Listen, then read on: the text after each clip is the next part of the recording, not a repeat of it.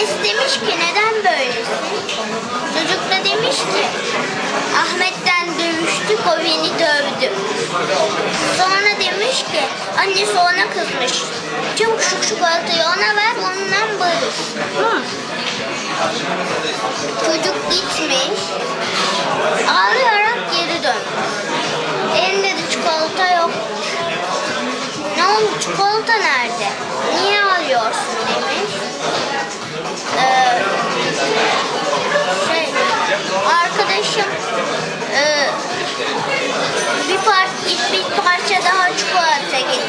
getirdi. Sonra da beni yine dövmüş.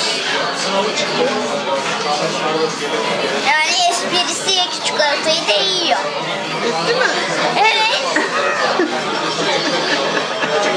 Espriyi de açıkladı. Hem hem fındık fıstığı hem de fındık yesin bence. Ya da hem fındık fıstığı hem fıstık yesin. Şu fındık fıstığı.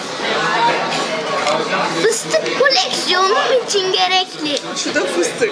Hah, fındık fıstığı ve fıstığı. Sonra mı yiyeceksin bunları? Yalnız kusura bakmazsan ben bu fıkrayı pek anlayamadım.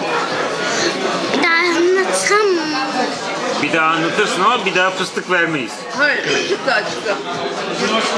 Bak şimdi. İlk bir seferinde Gerçek dövülmüş. İkinci seferinde onu yemiş.